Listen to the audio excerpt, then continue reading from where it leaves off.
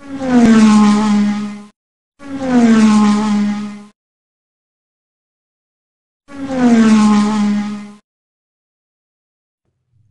sukunnya guys. Bukan musimnya tapi saya dapat rezeki saya sudah goreng. Dan ini sambelnya guys. Ini juga menjadi makanan sahur saya. Selain makan malam dan ini ada saya beli 5000 kolak pisang hijau ada juga umba-umba onde-onde dan kue lapis. Terima kasih guys telah menonton. Jangan lupa subscribe